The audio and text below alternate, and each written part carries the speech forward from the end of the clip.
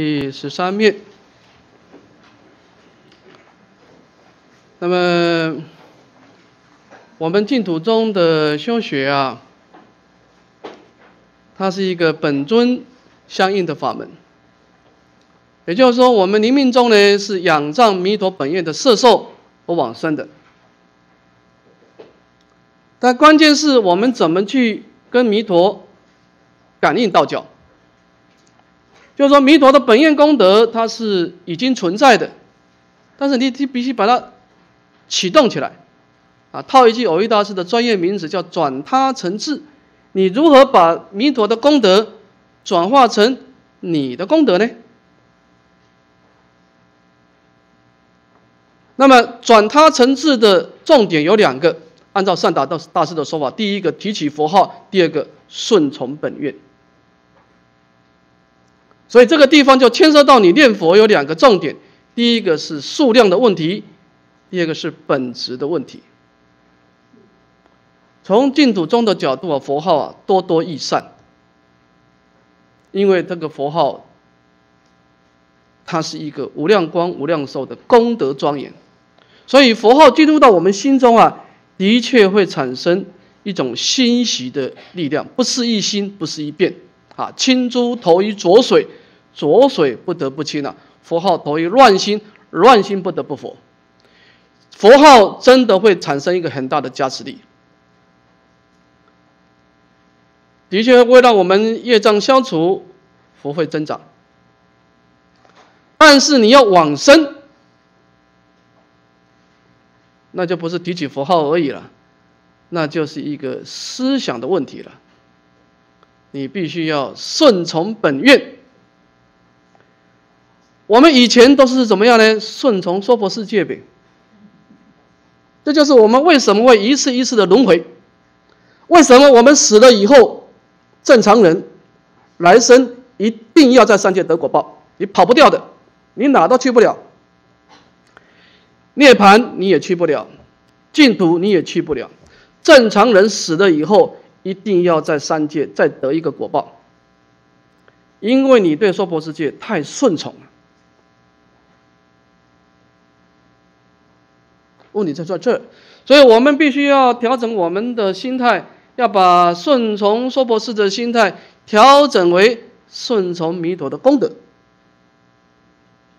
但是，我们从一种杂染的缘起，要转换成清净的缘起，这个中间一个很重要的过渡是什么？空性的智慧啊！说实在，你没有空性，你不可能直接从杂染的顺从。转成轻轻的顺顺从，你转不过来的，一定是先把它归零，再重新开始。一个人不修空性，我不相信你能够把厌离娑婆直接转成星球级的，很难的。你不把过去的空掉，你不可能重新开始的。你带着杂染的缘起去念佛，所有的佛幻都杂染。所以空正见扮演的重要的角色。让你的人生重新开始，让你的生命重新归零。所以，念佛的本质，就是你的心理的素质、你的智慧的水平的关照了。其实，念佛的本质比念佛的数目更重要，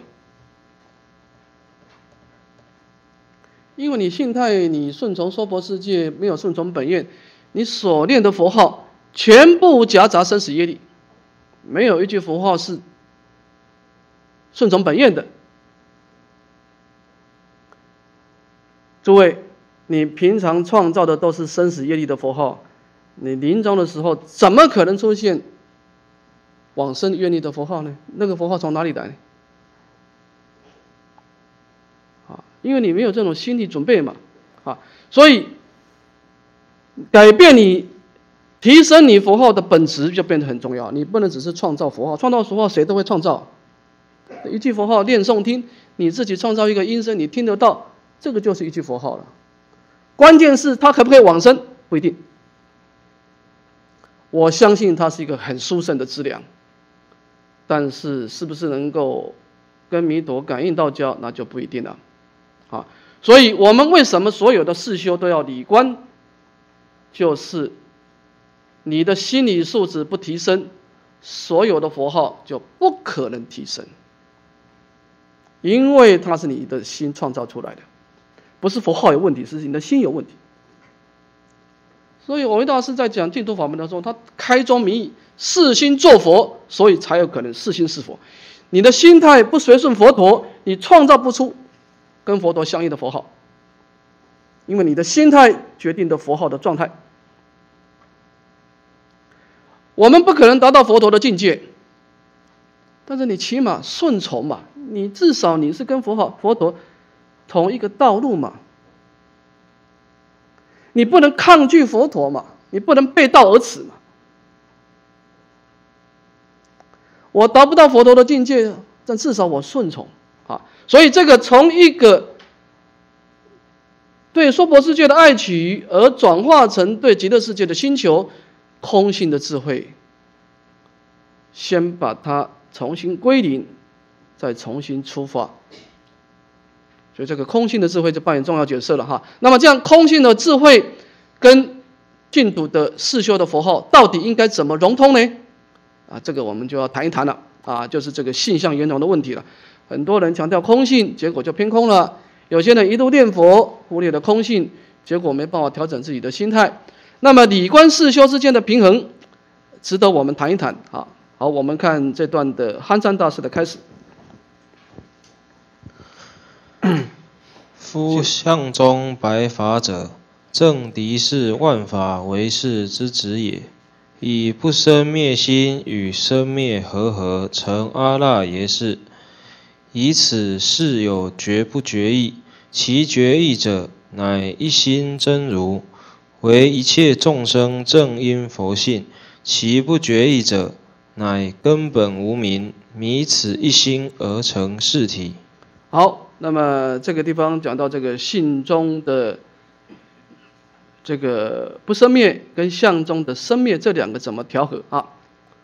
我们看第一段，相中的唯识呢的重点在万法唯识，他从生灭因缘来开展人生，他务实的面对轮回的问题啊。当然信信中讲万法唯心啊，这个心就是比较清净的啊。不带杂染的哈，但是唯识学呢，它是从万法唯识啊，就一切万法都是我们凡夫的情势所变现的啊。当然，这个情势主要是受想行三个作用。那么以不生灭跟以不生灭心跟生灭的因缘合合成阿赖耶识啊。唯识学呀，他认为轮回有一个很重要的根本，就是阿赖耶识。那阿赖是有两个功能呢，第一个是什么呀？变现果报，那个果报要刺激你的内心，你要造业，造业以后呢，它要储存业力，所以阿赖也是啊。第一，它呢，它成熟以后呢，它叫变现果报，它这个业还没有成熟呢，它就收集业力，啊，等到业力一到成熟，又变现果报，啊，所以它两个功能。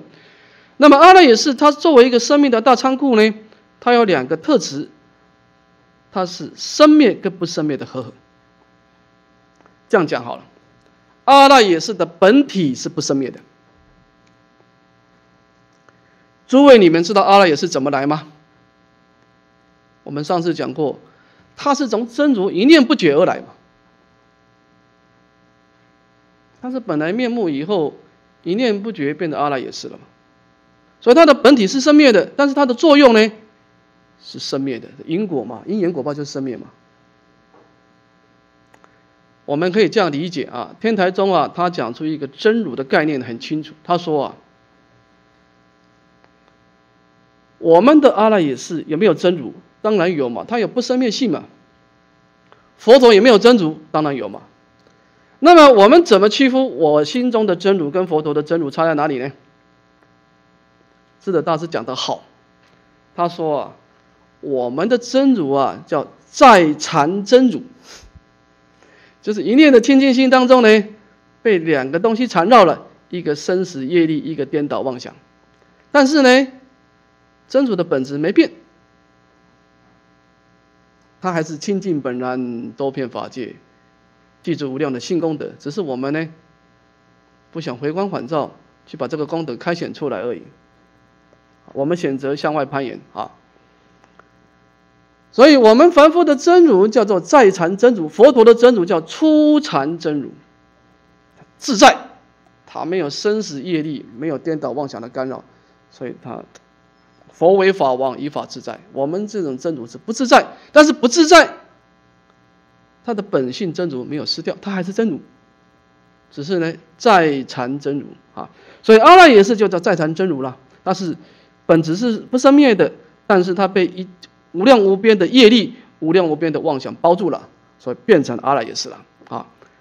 那么这个阿赖耶识有觉跟不觉两种选择。当我们选择觉悟，就是回光返照、修我空光、法空光的时候，把这种缠绕的业力跟妄想慢慢的把它降低啊，我们就趋向于清净的一心真如，这是我们一切的佛性。当我们选择向外攀岩，跟着感觉走，那么我们的生命就离真如越走越远了，就走上了根本无明了。这个就是成就一个凡夫的事体了。所以你攀岩心越重的人啊，大概你离家就越越越离越远了啊。那么这个地方跟性相严重有什么差差别呢？我们解释一下哈。当然，信中强调不生灭心呐，啊，那么相中是强调一种调伏对峙，它从因缘上调伏对峙，它讲到生灭的因缘哈。这个生灭跟不生灭啊，自古以来呀就有很高的争执啊。那么最高的分界线呢，就是在六祖大师那一块产生很大的分界线。我们都知道六祖大师得法的因缘啊，就是五祖他年纪年纪大了，他希望他的弟子啊，把多年的修学心得啊写出一个寄颂，看哪一个信寄送呢比较合合乎佛陀的真实意，就把这个法传给他。他传法不传人，依法不依人，不管你是谁，不管你是不是我的徒弟，只要你的法接近佛陀，你就有资格做领导者。那么当然，后来两个人提出了他的心得嘛。第一个就是六祖大师的“本来无一物，何处惹尘埃”，神秀大师的是“时时勤佛事，末世者尘埃”。大家都知道谁得法了嘛，对不对？那么为什么“本来无一物，何处惹尘埃”得法？因为他把真如的根本不生灭性诠释出来了。所以从这个寄送以后，中国佛教。就重视不生灭，而忽略了生灭的因缘了。所以后世的祖师、祖祖师们呐，就为神秀大师喊冤呐。他说：“时时勤佛事，莫使惹尘埃。”这句话没错嘛？难道你不需要世修吗？你每天拜佛也是时时勤佛事嘛，莫使惹尘埃嘛？那应该怎么办呢？所以你看那个《金刚经》有一个寄送，有一个有一个祖师注解的很好，《金刚经》说啊：“若以色见我，以因身求我，世人行邪道，不得见如来。”因为《金刚经》强调不生灭性嘛，所以只要生灭的，全部打入第二义地，由是皆下汉。只要你能够以色见我，以因身求我，这个人就没有误入佛道，对不对？这句话是合理的。后来祖师注解说啊。若离色见我，离因身求我，世人行邪道，不能见如来。这句话也对啊。你拜佛是不是要借一个佛像呢？你可以对墙壁拜佛吗？哪一个人家里面是对墙壁拜佛的？借相修心嘛，对不对？你念佛难道你不出声吗？因身对不对？所以他这样讲的话，佛法不是矛盾吗？一下子就要建设，一下离色。他是这样子，来，站在不生灭的角度来修生灭，这个是最严重的。站在不生灭的角度，就是站在本来清净的角度来处理你这些复杂的轮回问题。理观用信众，事修用为事。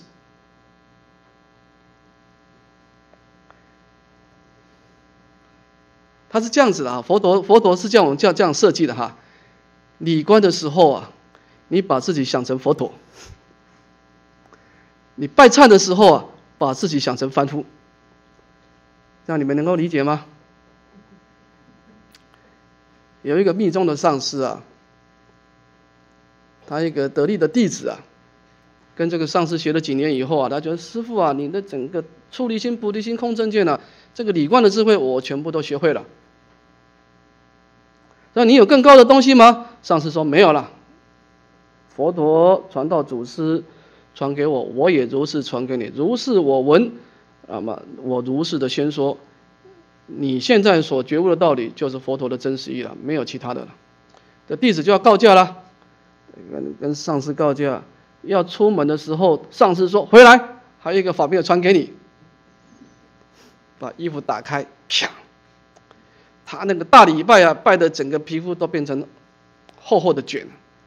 他说：“我的这个拜忏的四修的功夫要传给你，礼观不爱四修。虽然观现法空，但是还是要乖乖的时时勤佛事，莫使惹尘埃。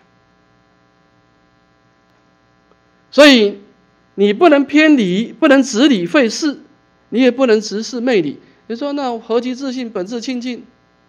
那你说我还有什么事可以做呢？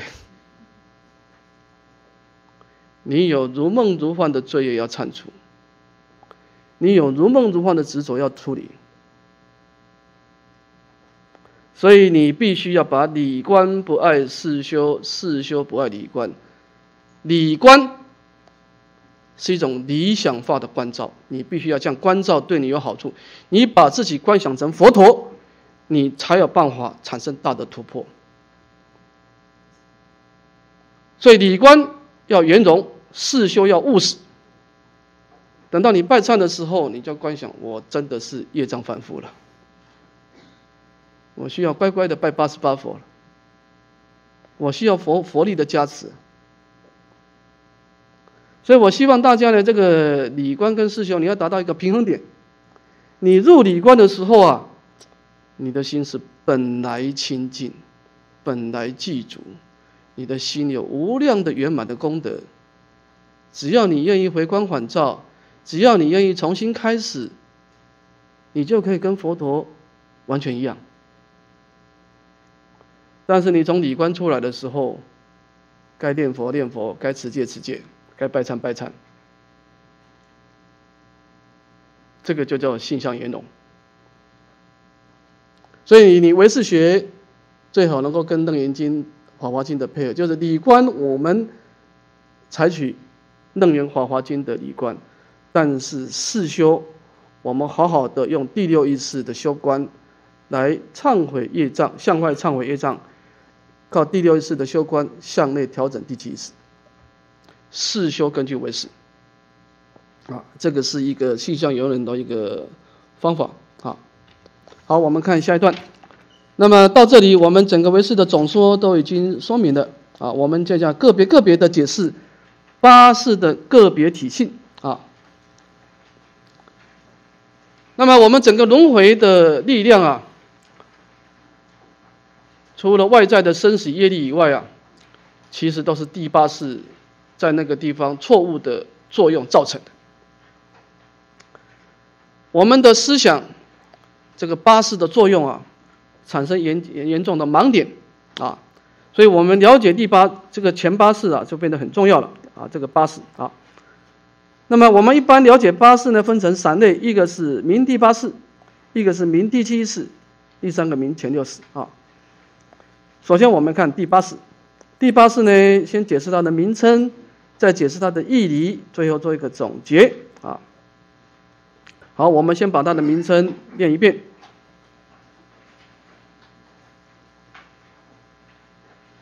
八事藏，一自相阿赖耶识，二因相一切总是，三果相好，一手是，一手是好。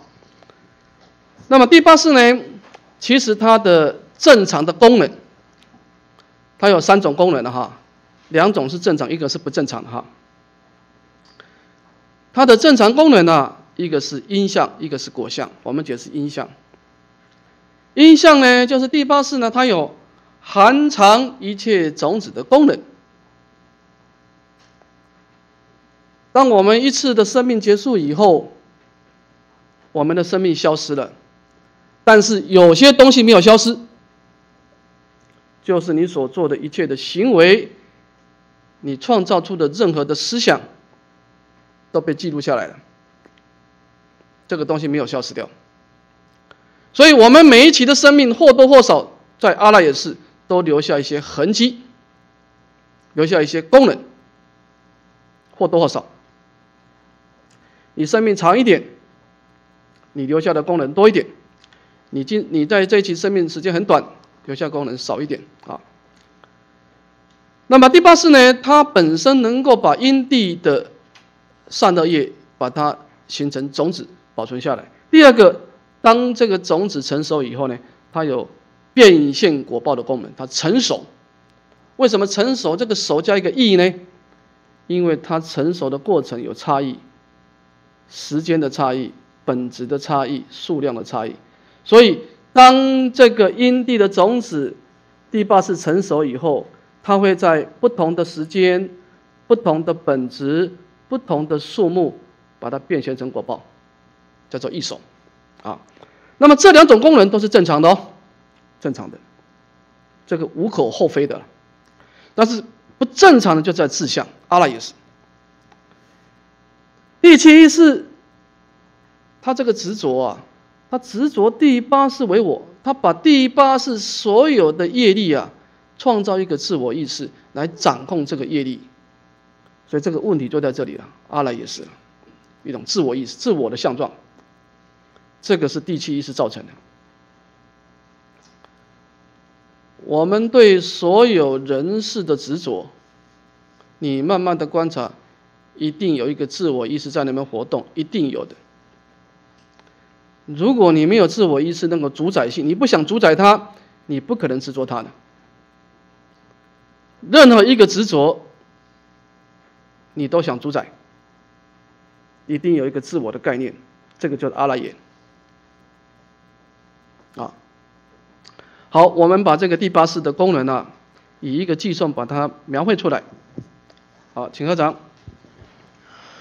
譬如巨海浪，斯有猛风起；洪谷洪波谷敏或，无有断绝时。藏是海常住，境界风所动，种种诸事让腾跃而转生。那么这个寄送呢？他先讲譬喻，再讲合法。首先，他用一个大海，大海本来是平静嘛，相对平静嘛，啊，但是它为什么起风浪呢？因为遇到猛风的吹动，这个风啊，往东边吹啊，就创造一个往东边的风浪；这个风往西边吹呢，就创造一个西边的风浪。所以呢，就使令这个平静的大海呢，产生一个广大的波浪呢，而鼓动了一个敏或敏或一个黑暗的一个深渊。啊，一个很深的大海啊，因为有这个风一吹啊，就创造很大的波浪，而这个波浪呢，一个接一个，一个接一个，没有断绝的时候，一个前前前面的波浪结束了，马上创造下一个波浪啊。那么这个譬喻是比喻什么呢？说藏式海常住，我们的阿赖也是啊，就跟大海一样。它含藏无量无边的善恶业力，它恒常相续的在那个地方停着。那你来生到底是哪一个得果报呢？就临终的时候的业力来刺激你。啊，境界风所动啊，就创造了种种的前期式的心思的活动。那么这个腾跃而转身，这个境界风所吹啊，有两说，也平常。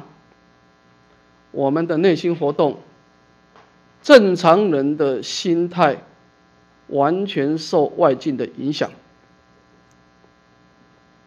心随境转。当然，外境要刺激你，他要透过一个东西，我们刚刚说过，透过什么？对，感受，对，他会先给你一个感受，让你产生欢喜跟讨厌。所以我们对于感受的抗拒就变得很重要了。所以第六意识啊，真正修观的人，他要注意两件：第一个向外抗拒感受；第二个向内对峙执着。这第六是要做两件事情。啊，所以这个我们的心事的主要活动呢，第一个受到外境的刺激。啊，平常是外境，临终的时候就中医生嘛。你中医，你临终的时候，你你该去哪里的时候啊？你看你为什么？楞严经说啊，为什么他会到地狱的火去呢？哪一个人会喜欢地狱的火呢？产生爱取？说我怎么可能临终的时候出现地狱火产生爱取呢？不是的，他是这样，你住该要到地狱的火去啊。你临终的时候啊，你的中医生啊，你全身产生冰冷。冷得特别厉害，盖棉被都没有用。然后你临终的时候看到温暖的火，你就扑过去，结果变成地狱的火，是这样子的。那么那个临终的时候，那个那个境界，那个所缘境，那个温暖的火是怎么来呢？就是你的业力变现出来的。啊，所以临终的时候就重阴身的对你的牵动，这是境界风所吹。平常就是你人世的境界，啊，那么这个地方是说明说啊，我们人生的轮回来自于有业力刺激你的思想，有思想要创造业力，然后这个业力又刺激刺激思想，这个业力跟思想的交互作用，使令这个我们的生命呢，就生生世世的轮回下去了，就腾跃而转身了。那么当然。他的业力跟思想的转换点，就靠第八世的保存，跟第八世的变现。第八是扮演重要的角色，它是一个很重要的转换站啊。好，这个是第八世的一个因跟果两种相貌。我们看它的义理啊，义理当中呢，第八世它有两种功能，第一个是凡夫的第八世，有肉的第八世。第二个是圣人的第八式，好，我们先看凡夫的第八式啊，看第一个，浩浩三藏不可穷，渊深七浪尽为风，受熏此种根生气，去后来先做主公。那么凡夫的第八识呢？首先我们看它的体性，浩浩三藏不可穷，渊深七浪尽为风。第八式呢，三藏这个三藏我们前面说过，它有四相、因相、果相，它三种功能。总而言之，就是第八式。第八式呢是广大无边的，你有本事轮回下去，他就有本事继续把你的功能保存下去，他就有本事把你的果报一次一次的变现出来，他不会停止的。只要你有本事轮回，他就有本事陪着你，啊。所以烟生气浪尽为风，他不断的创造你的前期式的活动。当你是一个人的时候呢，它就变现一个人的前期式。啊，当你是一个天人的时候，它变成天人；那你如果是一个蚂蚁，它再变成一个蚂蚁的受想形式。啊，这个是讲到第八式的一个体系的，它是它不会停止的啊，除非你做改变。第二个，它的作用呢有两个：受心持种，这是第一个，它因地啊受心之种；第二个根生气，它的果报。我们看受心啊，这个受心啊，第八是受前期式的欣喜啊，尤其是第六、第七啊，是非常厉害的。什么叫受熏呢？就是说两个不同的东西。但是你把它放在一起啊，魔甲跟魔乙啊，他们会互相的产生欣喜，魔甲的功能会跑到魔乙，魔乙的功能会跑到魔甲。比方说，你拿一个手帕放在佛堂，佛堂有这个沉香嘛，对不对？那么沉香跟手帕是两个东西吧？但是呢，这个手帕呢，它会受熏，它会受到这个沉香的熏洗，哎，这个手帕变得有沉香的味道了。第八式也是这样子。第八是本身不造业啊，那他为什么有业力呢？因为他老是跟第六、第七在一起嘛，第六、第七老是造业嘛，就造业的时候，他业力起现行的时候呢，他呢，诸位都知道业力是生灭的嘛。那你刚刚拜了佛八十八佛，现在呢，现在没了嘛，但每一个动作都没有了。但是你在拜佛的过程当中啊，那个刹那刹那生灭的生口意的活动啊，哎，他心喜第八世成成一个叫种子，一种善者无漏的善根种子，就叫心喜。受熏，受熏以后呢，他讲这个种子啊，他要把这个种子牢牢的抓住，持种。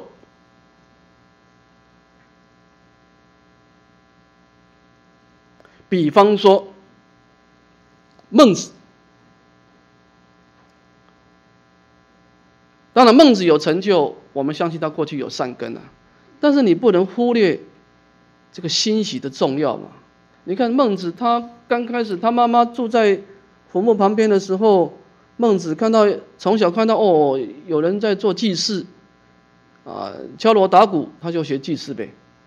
他妈妈看一看不对，这样后续下去的欣喜不好，哎，把他搬到菜市场旁边。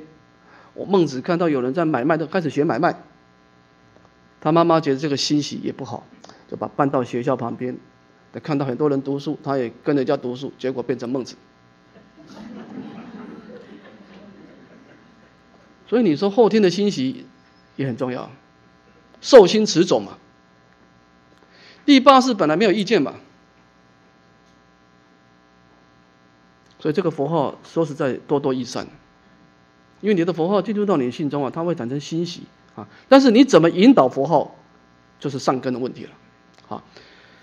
所以第八式本身它没有造业的功能，但是它有本事呢，把第六、第七的业啊，把它收集过来，把它保存起来，叫做受心持种。他就有这个本事，他接受前七世的善恶的行为的欣喜，而成就一种种子，然后呢，他牢牢的把它保存下来。一直到它成熟的时候，就变成根生气。啊，时间到的时候，能量处理到一个程度啊，啊，变成的正报的根生跟异报的气时间。如果你是善业起现行，就变成一个人的根生气界；如果你是罪业起现行，就变成一个三恶道的根生气界。那么第八式呢，在生命当中呢，气候来先做主攻，来的时候它最先来，所以母胎最先入胎的是第八式。所以小孩子在母亲的身体里面呢，他没有感受，也没有执着。刚开始的时候啊，就是一个心事，一个心事呢，那就住在那个父精母血那个那个设法里面。叫做明舍，他最先到，啊，那么我们生命结束的时候呢，他最后离开。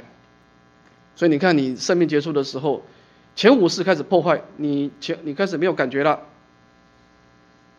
别人跟你讲话你也听不到了，前五世慢慢的往内的时候，前五世就消失了，第六意识的独头意识，你的意识也没有了，第七意识的执着也没有了。这个时候临终的时候，到最后的时候，完全回归到一个第八世，没有感觉，没有好坏的第八世。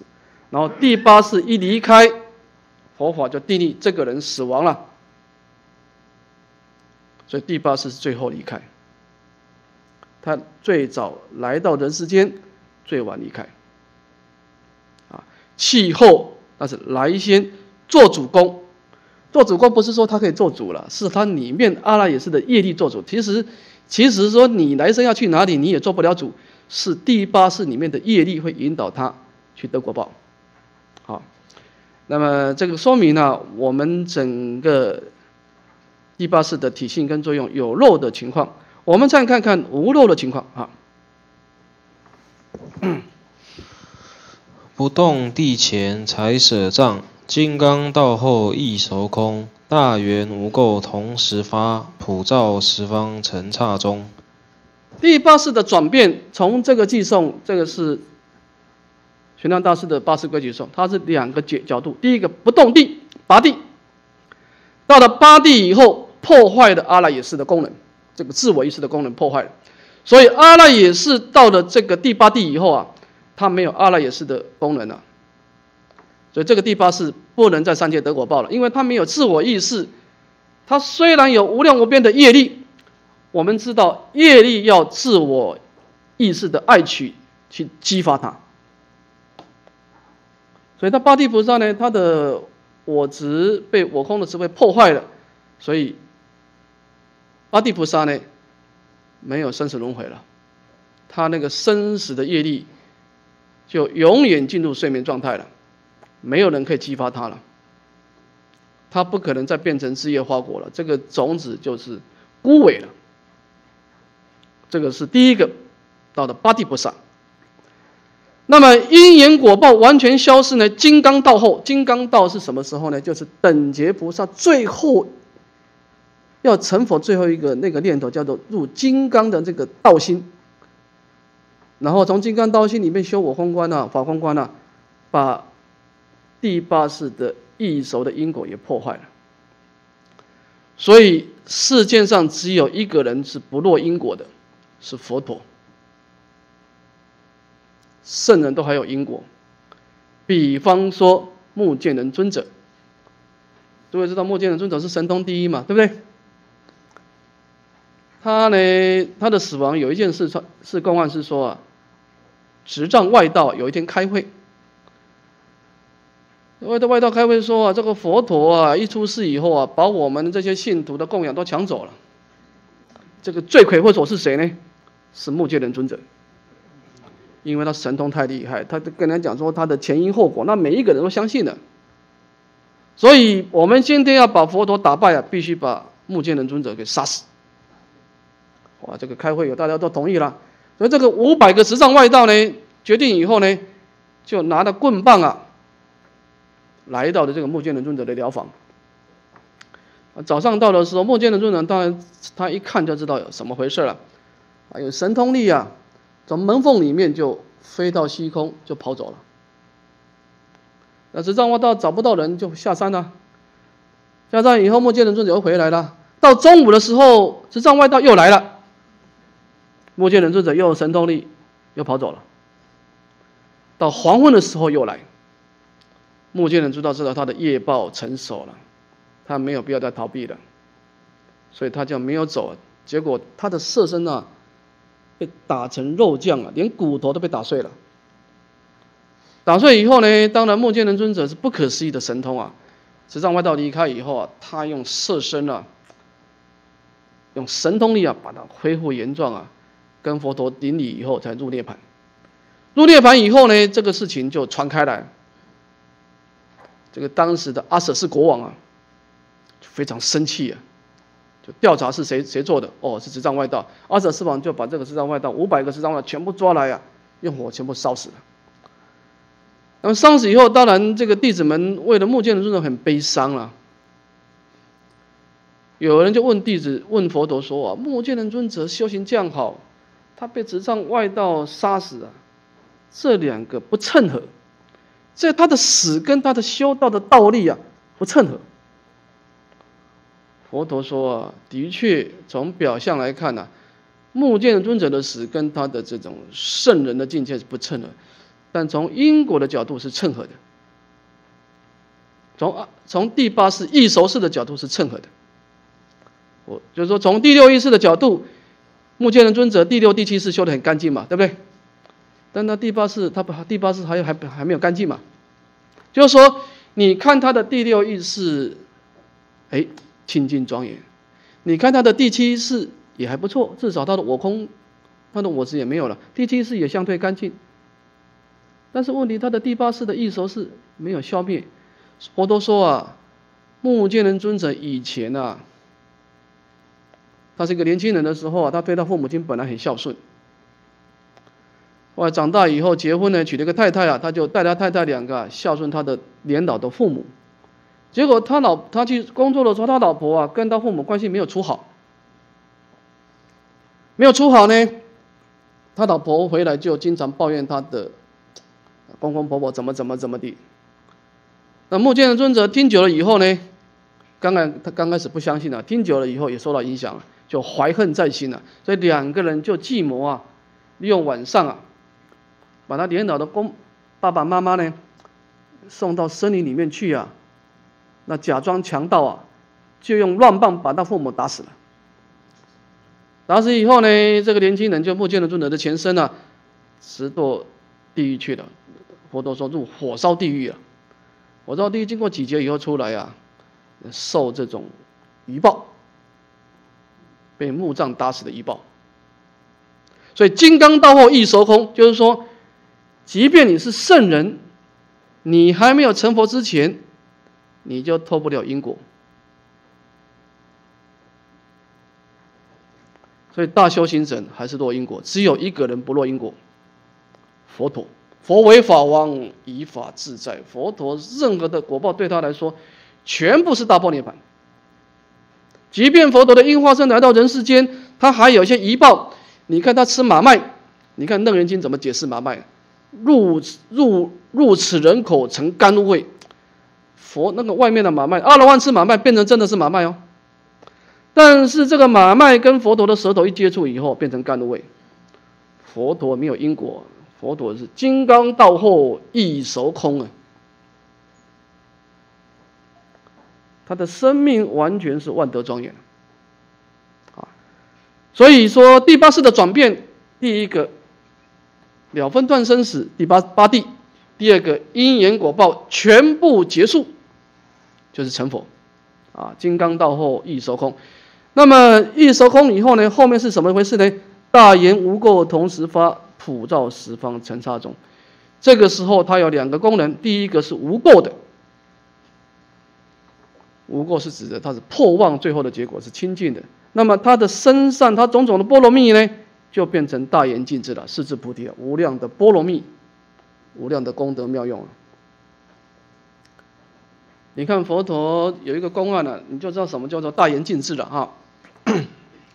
看佛陀有一次，他的这个提婆达多不是害害佛陀吗？他把这个像灌醉，灌醉以后啊，用那个鞭子打这个像啊，那个醉像就往佛陀的方向冲过来。那是阿罗汉看到罪相以后，赶快用神通力啊飞到虚空去了。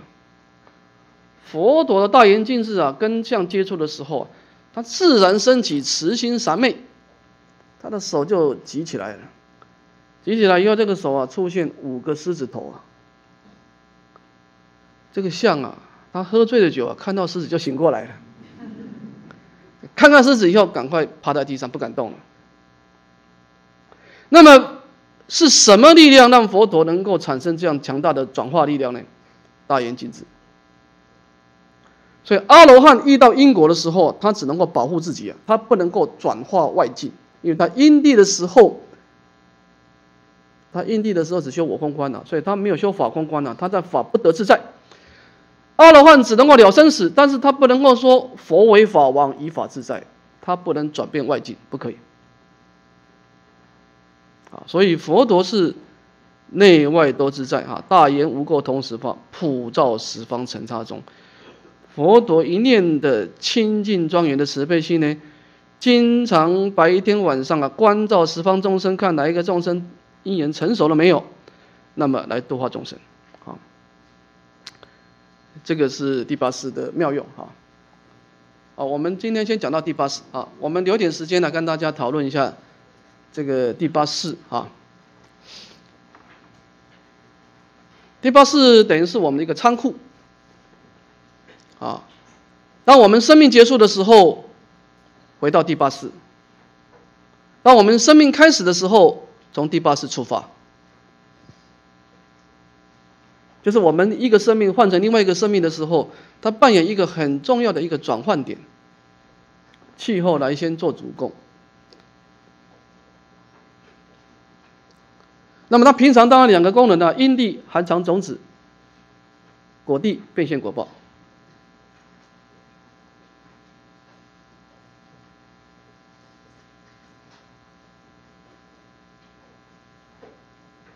这样讲好了，就是说有一个人啊，他每天做买卖，他出去以后回来呢，或多或少都会换一些东西回来，有些东西是对身体有害的，有些身体是对身体有益的。那么他每这个第六是做买卖回来以后呢，他就往仓库里面一丢，这仓库就很多东西了，有好有坏的了。但是他也不，他也他也不想处理。反正他心只是想向外攀岩嘛。等到这个人有一天学佛了，他知道这个仓库该整理的时候了，该面对他了。那么他做两件事情：第一个，把不好的东西慢慢的减少，把好的东西慢慢增加，就是先处理业力这一块。但是彻底的呢？必须把这个仓库拆掉，破坏阿拉也是。只有修我空观法空观，把阿拉也是破坏掉，把它转成真如的彻底。我们刚开始先求断恶修善，然后再最后进入到转凡成圣。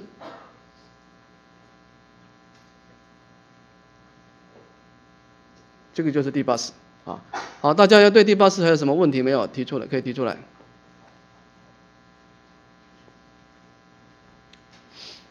第八式本身不造业哦，它本身不造业哦，它本身也没有好坏。第八是本身没有好坏，它非善非恶，但是它会记录善恶，它会把善恶保存起来，它本身是非善非恶。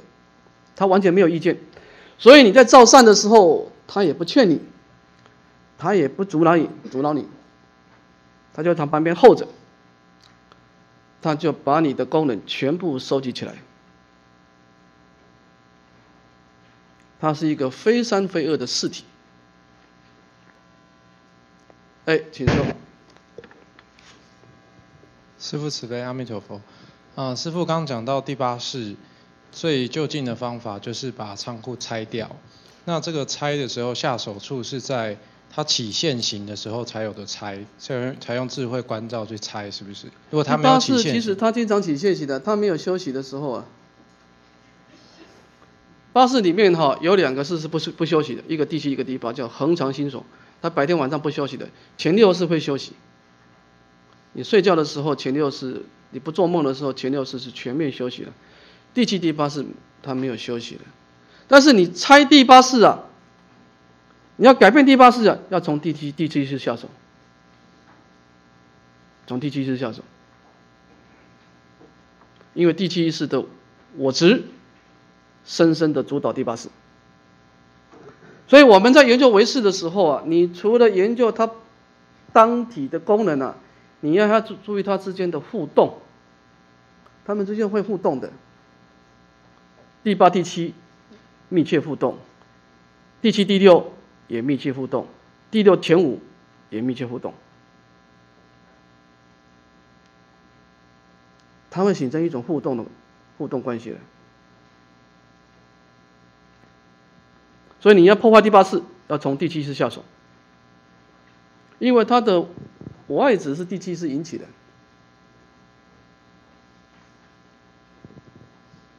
他本来是变成因果嘛，对不对？那么因果里面有一个我，我去造业，我去得果报，那个我的概念是第七次给他的呗。所以第七次一转，第八次就跟着转了。对六七因中转嘛，对不对？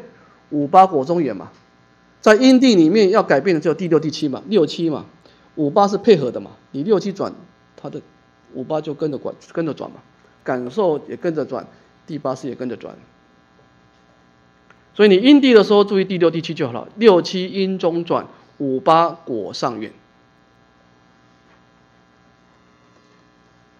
我们净土中的人，我们今生不可能破坏第八识，这是一个现实。但是你最好把第八识的势力降到最低。你必须把你的清净心所摄受的信愿的力量加强。你临终不能看第八识来主导你，你要第八识来主导你就完了，你就随业往随业你就流转了。所以我们临终的时候，要在第八识没有启动之前，你还没有死亡之前，你的正念就要提起来了。所以随念往生没有经过死亡，没有经过第八识，一旦第八识开始活动，你就完了。第八识的势力不是你可以控制的。所以净土宗啊，是要在第八识还没有活动之前先下手，你赶快提起正念，跟弥陀感应道交，靠第六意识随念到净土去了。一旦你的第六意识进入懵觉，第六意识开始不活动的时候，由第八识主导的时候，你就不可能往生了。一个人临终只要进入昏睡状态，你就百分之百不可能往生了，因为你根本随念往生那个第六识的正念失掉了。完全第八识主导的时候，你不可能往生了。第八识，它是一个有漏业力的根本，所以你必须在第六意识清楚的时候，就要跟阿弥陀佛感应道交了。就第八识还没有出手之前，你就要先下手了，完成感应道交了。一旦第八识开始活动，你就没机会了。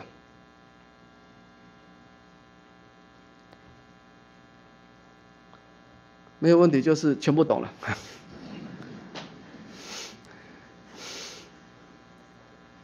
当然，第八是我们知道有这么回事，因为我们修行也不能从第八次下手了，因为它是被动的啊，它只是一个仓库。其实它很无辜啊，它只是一个因果的一个摄持者跟变现者。那么真正主导它的当然是第七次了，当然第七次也受第六意识的影响啊，嗯。好，那我们今天就先到这里啊。向下文长复再来日回向。